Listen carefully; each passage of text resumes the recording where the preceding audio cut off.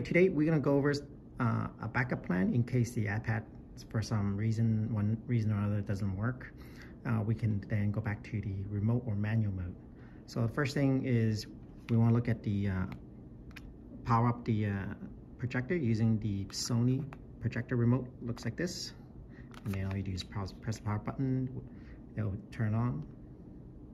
After power on the remote on the projector, then we can uh, come to the audio rack room and look at the Denon receiver and be able to control the rest of the operation here.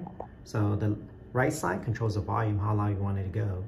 And then on the left side controls the input source. Like for example, right now it's on HDMI.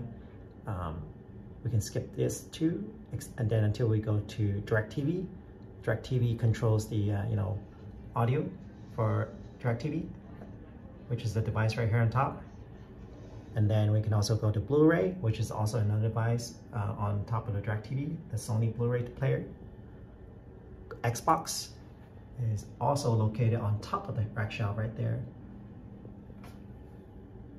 And then this also uh, allows you to go to the side HDMI option, Roku TV, Apple TV, and go back to your front HDMI. So once you cycle through the correct uh, players, the content you want to play, and you can also adjust the volume from there.